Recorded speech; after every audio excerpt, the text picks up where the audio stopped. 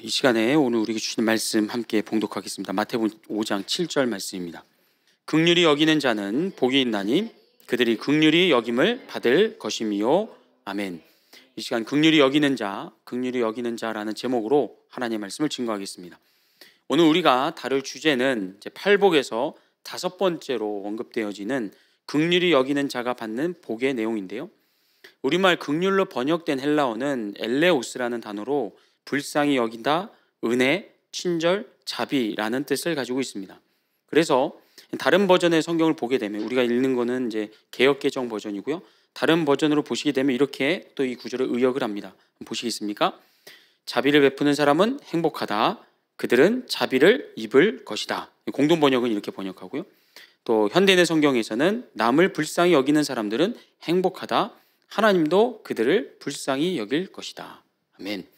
이렇게 팔복에서 말씀하고 있는 이 극률이란 극률이 여김이라는 것은 뭐 생각이나 마음으로만이 아니라 다른 사람들에게 은혜와 친절과 자비를 베푸는 행동까지도 다 포함되는 의미를 갖고 있습니다.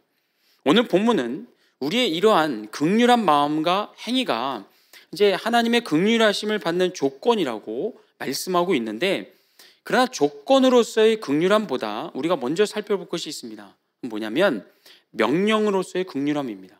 명령으로서의 극률함. 여러분 이 팔복의 말씀은 누구를 타겟으로 한다고 여러 번 말씀드렸습니까? 바로 예수님의 제자들입니다.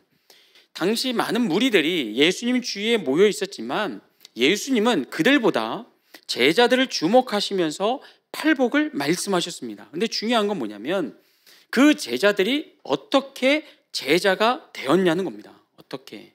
누가복음 6장 12절부터 보시면 이렇습니다. 이때 예수께서 기도하시러 산으로 가사 밤이 새도록 하나님께 기도하시고 밝음에 그 제자들을 부르사 그 중에서 열두를 택하여 사도라 칭하셨으니 아멘. 보시는 것처럼 예수님은 제자들을 세우실 때 그들 각자의 재능을 따져보거나 일종의 자격 시험을 치르지 않았습니다. 예수님이 제자들을 선정하신 기준은 그들이 가진 재능이나 능력과는 사실 아무 관련이 없는 기도. 이게 다였습니다. 그런데 더 놀라운 말씀이 이어지죠. 14절부터 보세요. 곧 베드로라고도 이름을 주신 시몬과 그의 동생 안드레와 야고보와 요한과 빌립과 바돌로메와 마테와 도마와 알페의 아들 야고보와 셀롯이라고 하는 시몬과 이 다음입니다. 야고보의 아들 유다와 예수를 파는 자들 가롯 유다라. 아멘. 여러분 예수님께서 제자들을 부르실 때 무엇을 알고 부르셨습니까? 제자들의 미래를 알고 계셨습니다. 어떤 미래요? 훗날 그들이 예수님을 배신하고 팔아 넘길 것을 이미 알고 계셨습니다. 물론 그 중심에는 가론 유다가 있었지만 그러나 가론 유다만 예수님을 배신한 게 아니라는 걸 우리는 알고 있습니다. 게세만의 동산에서 가론 유다가 로마 군인들과 함께 예수님을 붙잡으러 달려왔을 때 끝까지 예수님 곁에 남아서 예수님을 지킨 제자는 한 명도 없었습니다. 베드로를 비롯한 11명의 제자들 모두가 다 어떻게 합니까? 예수님을 내팽개치고 버려두고는 도망쳤습니다. 다시 말하면 예수님은 제자로서 완벽하게 준비된 자들을 부르신 게 아니었다는 겁니다. 그 반대로 제자 될 자격이 없는 한없이 부족하고 모자란 자들을 예수님은 제자로 부르셨습니다. 무엇을 근거로요? 기도로 하나님의 극률하심을 힘입어서 말입니다.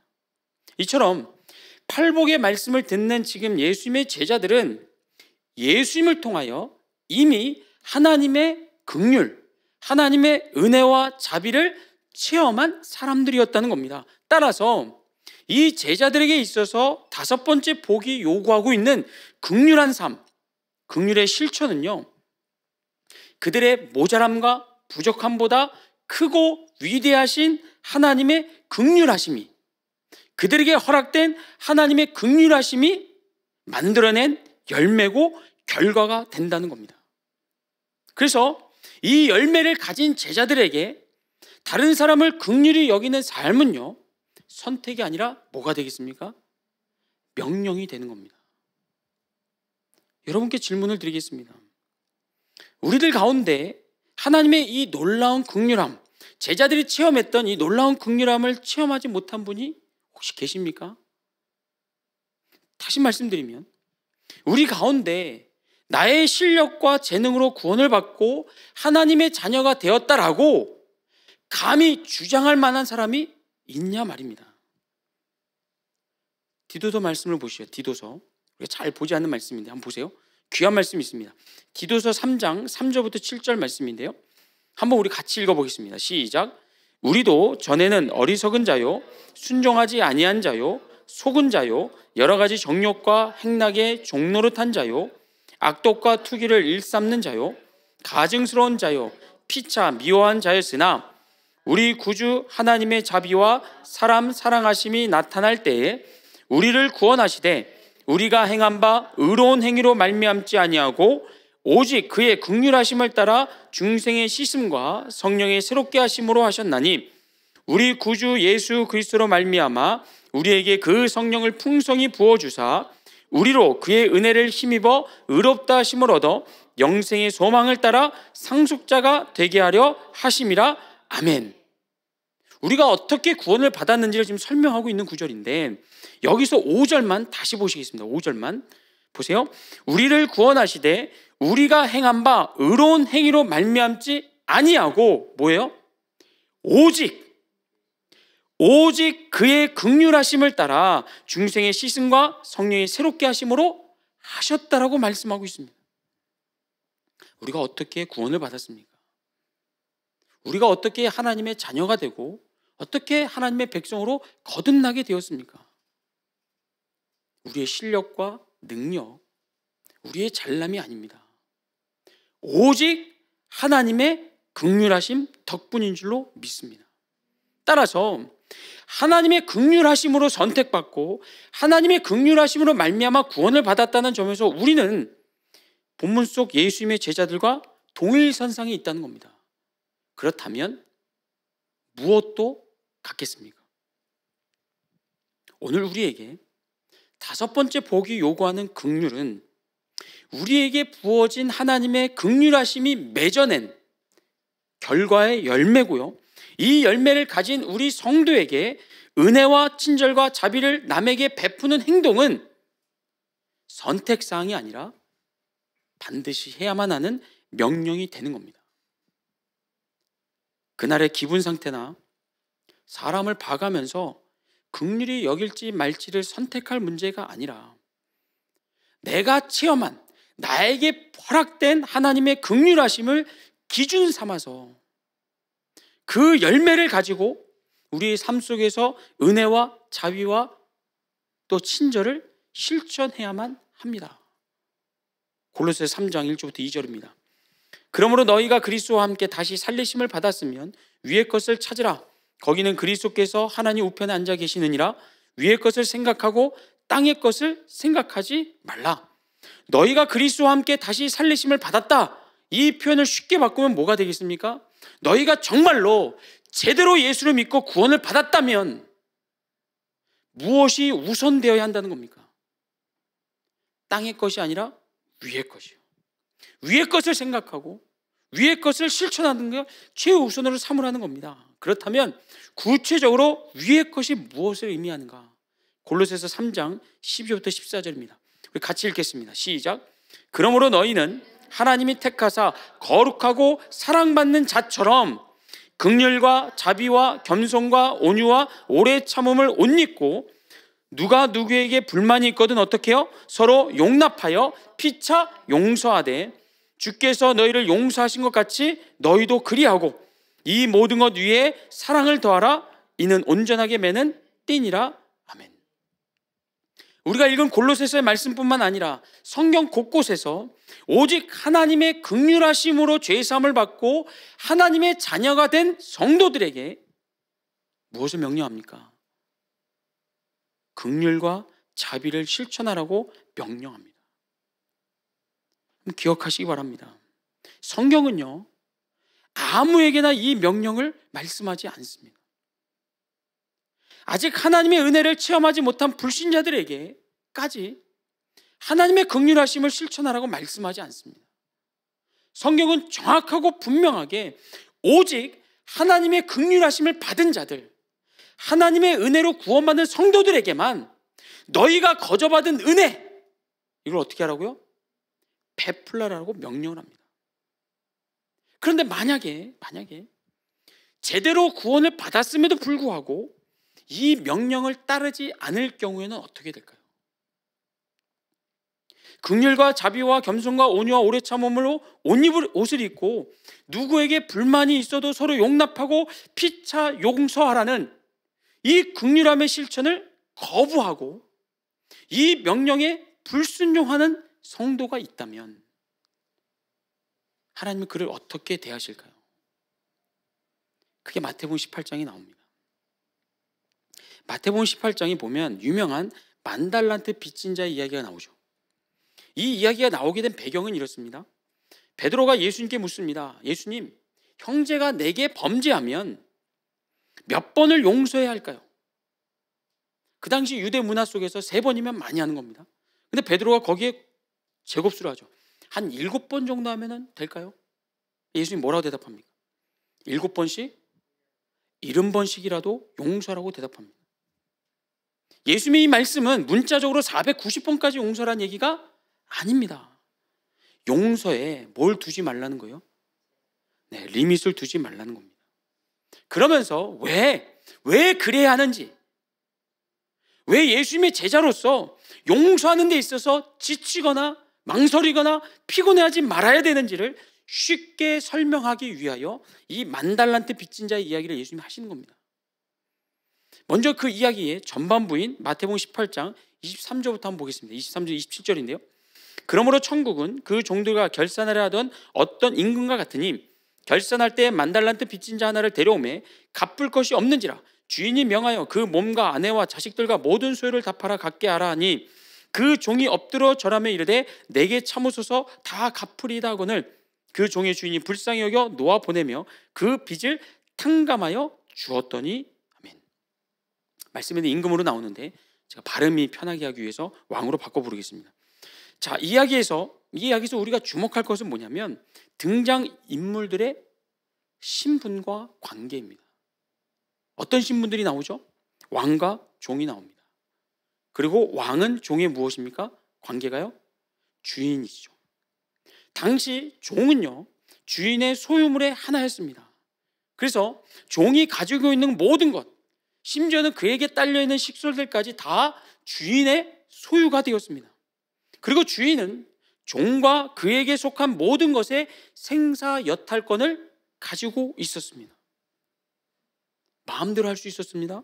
그리고 종은 철저하게 주인의 이익을 위하여 존재했습니다. 그런데 비유에 등장하는 종은 어떻습니까?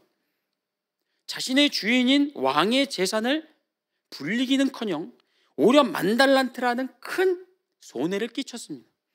유대 역사가인 요세푸스 요세푸스의 기록에 따르면요. 예수님 시대 때 유대와 사마리아에서 로마 제국에게 바치는 1년 세금이 600달란트 정도였답니다. 1년 세금이. 그러니까 만 달란트는 어느 정도 되는 겁니까? 유대와 사마리아 사람들이 약 17년 동안 로마에게 바치는 세금과 맞먹는 엄청난 값이었습니다. 하지만 이 종이 만 달란트를 빚졌다는 것보다 더 큰 문제가 있습니다. 그건 뭐냐면 그에게 그 빚을 갚을 능력이 없었다는 겁니다. 갚을 능력이요. 그러니까 주인의 입장에서 보면 이 만 달란트 빚진 종은 진짜 무익하고 무능한 하등 쓸모가 없는 존재였습니다. 따라서 당장 그 자리에서 목숨을 빼앗아도 주인을 비난할 사람은 없었습니다. 그런데 우리가 알다시피 그 이후에 놀라운 일이 벌어지죠. 왕이요. 이렇게 무익하고 무능한 쓸모없는 종을 용서해 줍니다. 그것도 아무 조건 없이. 뭐 다달이 얼마씩 갚으라거나 또 그의 처자식을 팔아서 다만 얼마를 가져오라고 하지 아니하시고 오직 이 무익하고 무능한 종을 불쌍히 여겨서 그게 답니다. 불쌍히 여겨서 만달란트나 되는 빛을 다 탕감해 주고는 풀어줍니다. 여러분 이 비유 속에 왕과 종은 누구를 이야기할까요? 왕은 누굽니까? 우리 하나님이시고요. 종은요, 바로 저와 여러분입니다. 우리가 앞서 디도서 3장에서 봤듯이 우리는 구원을 받기 전에 어리석은 자였고 불순종했고 여러 가지 정력과 향락에 취해 비틀거리면서 악독과 투기를 일삼는 죄인들이었습니다. 들키지 않아서 그랬죠. 하나님 보시기에는 정말로 뻔뻔하고 가증스러운 미운 죄인들이었습니다. 그러나 우리의 무능함과 죄악됨보다 하나님께서 더 크고 위대한 긍휼을 베풀어 주셔서 우리를 불쌍히 여겨 주셨고 우리를 구원하신 줄로 믿습니다. 누구처럼 비유 속에 있는 만달란트 빚진 종처럼요. 그런데 마태복음 18장의 이야기는요. 만달란트 빚진 자를 향한 왕의 긍휼과 위대한 구원에서 끝나지가 않습니다. 28절부터 이제 후반절이 시작이 되는데 만달란트를 탕감받은 종이 어떻게 합니까? 길을 가던 중에 자기에게 100데나리온 빚진 동료를 만납니다. 당시 1데나리온이 노동자의 하루 품삯이니까 100데나리온이면 결코 작은 돈은 아닙니다. 하지만 중요한 건 뭐죠? 이 종이 왕의 종이라는 사실입니다. 왕의 종. 다시 말하면 그가 가진 소유는 다 누구의 것입니까, 사실? 주인인 왕의 것입니다. 그러니까 그가 동료에게 빌려줄 수 있었던 100데나리온도 따지고 보면 자기 게 아니라 누구 겁니까? 예, 주인은 왕의 소유였습니다. 따라서 잘잘못을 따질 권한은 돈을 빌려준 종이 아니라 사실 그 돈의 실소유자인 왕에게 있는 것이었습니다. 그런데도 이 종은 자신의 신분, 종이라는 신분을 망각하고 감히 주인 행세를 했다는 거죠. 그런데 이 비유에 등장하는 종이 잊은 것은 자신의 신분뿐만 아니라 또 무엇이 있었습니까? 100데나리온보다 무려 60만 배나 더 큰 만 달란트를 탕감받은 사실을 잊고 있었습니다. 조금 전 왕이 그에게 베풀어준 국률이 얼마나 위대하고 기가 막히고 말이 안 되는 엄청난 은혜인지를 그는 망각해 버렸습니다. 자기 몸뚱이와 처자식을 다 팔아도 갚을 수 없는 이 만달란트를 아무 조건 없이 탕감해 준 그 왕의 은혜를 잊어버린 채 60만 분의 1에 불과한 100데나론 빚진 동료를 고발하고 감옥에 쳐 넣어버렸습니다. 그렇게 함으로써 이 종은요, 그에게 베풀어 주신 왕의 그 어마어마한 극률함을 어떻게 했습니까? 우습게 만들었습니다. 이 사실을 하는 왕은요, 극대노하면서 당장에 만달란트 탕감시켜준 종을 호출합니다. 그리고는 32절부터 한번 보실까요? 32절 시작.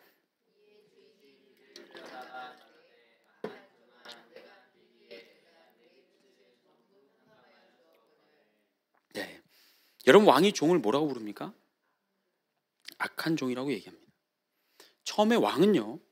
만달란트를 갚지 않아서 끌려 나왔던 이 종의 뻔뻔함과 갚을 능력이 없는 그의 무능함에 대하여 악하다고 꾸짖지 않았습니다. 오히려 이 무익하고 무능한 종을 불쌍히 여겼습니다. 그런데 다시 불러서는 왜 그를 악하다라고 책망을 했을까? 3, 3절입니다. 내가 너를 불쌍히 여긴과 같이 너도 내 동료를 불쌍히 여김이 마땅하지 아니하냐고 주인이 노하여 그 빚을 다 갚도록 그를 옥졸들에게 넘기니라. 아멘. 왕이 만 달란트 탕감시켜 준 종을 다시 불러도 불러서 그를 악하다고 꾸짖고 책망한 이유, 그를 징계한 이유는요 뭡니까? 아까 말씀드렸듯이 그에게 베풀어 준 왕의 말이 안 되는 기가 막히는 너무나도 크고 놀라운 극률함을 무용지물로 만들어 버렸기 때문입니다. 33절에 기록된 왕의 말을 다시 보세요. 내가 너를 불쌍히 여긴과 같이 너도 내 동료를 불쌍히 여김이 마땅하지 아니하냐.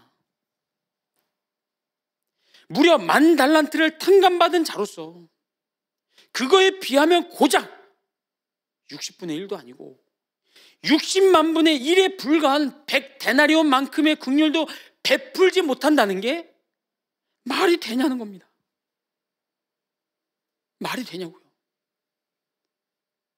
만달란트를 탕감받은 종이 자가 그렇게 놀랍고 기가 막힌 은혜를 받은 자가 그것보다 60만 분의 1밖에 안 되는 100단을 그 용서 못해서 고발하고 감옥에 쳐넣는 게 말이 되냐. 그러면서 예수님이 이 비유를 이렇게 마무리하십니다. 35절 같이 읽겠습니다. 시작. 너희가 각각 마음으로부터 형제를 용서하지 아니하면 나의 하늘 아버지께서도 너희에게 어떻게 해요? 이와 같이 하시리라.